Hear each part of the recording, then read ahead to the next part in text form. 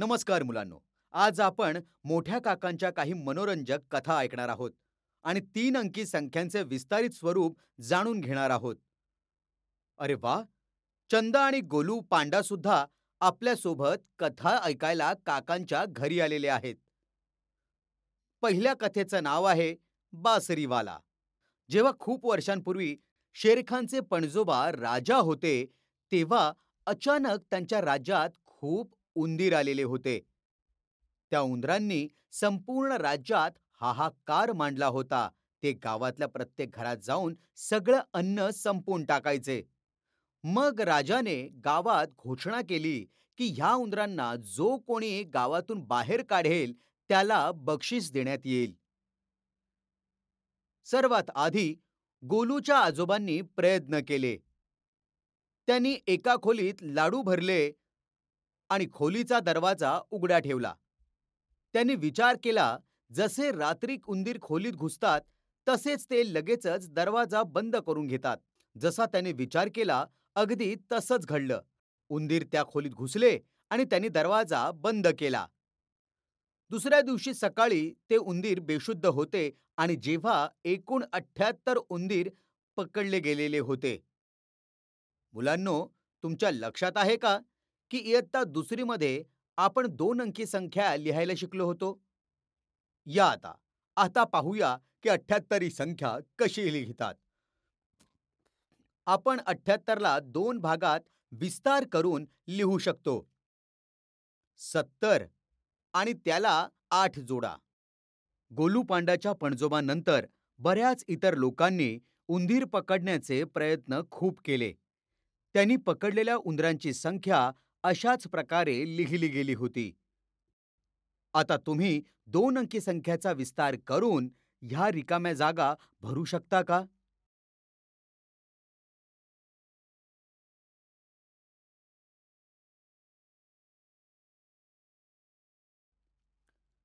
सगळ्यांनी प्रयत्न करून राज्यात अजूनही बरेच उंदीर बाकी होते. शेवटी एक दिवस गावात बन्नी नावाचा ससा बासरीवाला आला. तो बासरी वाजवत वाजवत गावात फिरत होता. त्याच्या बासरीचा मधुर आवाज ऐकून सगळेच उंदीर त्याच्या मागून चालू लागले. सगळे उंदीर त्याच्यामागे जमा झाले. त्याने बासरी वाजवणं सुरूच ठेवलं आणि त्या उंदरांना गावाबाहेर नेण्यात तो यशस्वी झाला होता. राजा आनंदी झाला. त्याने बनीला बक्षीस म्हणून सहाशे पंचवीस सोन्याची नाणी देण्याचा निर्णय घेतला. पण राजाने सोन्याची नाणी देण्याआधी एक अट घातली. त्याने बन्नीला सहाशे पंचवीसचं विस्तारित वर्णन करायला सांगितलेलं होतं. चला आपण आता बघूया तीन अंकी संख्यांना विस्तारित स्वरूपात कसं लिहिता येईल. चला आपण सहाशे पंचवीस लिहिण्यासाठी सहाशे पासून सुरुवात करूया. तुम्ही सांगू शकता का की सहाशेला एकने जोडलं तर काय मिळणार आहे आपल्याला? हो अगदी बरोबर ओळखलत. तर मग सहाशे एक होईल. असंच सहाशेला दोन जोडले तर आपल्याला सहाशे दोन तीन जोडल्यावर सहाशे तीन. त्याचप्रमाणे जर आपण सहाशेला पंचवीस जोडले तर आपली सहाशे पंचवीस ही संख्या तयार होईल. दुसऱ्या शब्दात आपण बोलू शकतो की सहाशे पंचवीस सहाशे पासून पंचवीस अंक पुढे आहे. आता आपण दोन्ही अंकाच्या संख्यांना विस्तारित करण्याच्या पद्धतीचा उपयोग करून पंचवीसला देखील अशा पद्धतीत लिहू शकतो. वीस आणि पाच जोडा. याच पद्धतीला विस्तारित रूपात एक्सपॅन्डेड फॉर्म लिहिणं असं म्हणतात. बन्नी खूपच लोकप्रिय झाला. आणि तो आपली बासरी वाजवत वाजवत गावागावात फिरू लागला. दुसऱ्या गावात त्याला बक्षिसांच्या रूपात आठशे एक नाणी मिळाली. तुम्ही या संख्येला विस्तारित स्वरूपात लिहू शकता का? चला सगळ्यांनी मिळून ते सोडवूया. आठशे एक ही संख्या आठशेच्या एक अंक पुढे आहे. म्हणून आपण आठशेला एकने जोडूया. अशा प्रकारे आपण विस्तारित रूपात लिहू शकतो. बनी गावोगावी फिरून थकला.